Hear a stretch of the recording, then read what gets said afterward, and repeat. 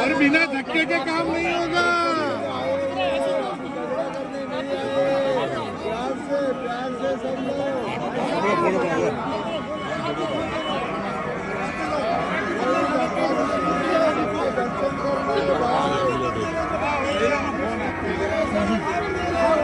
प्यार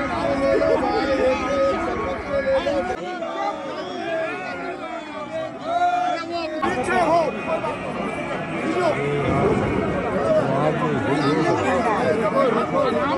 you.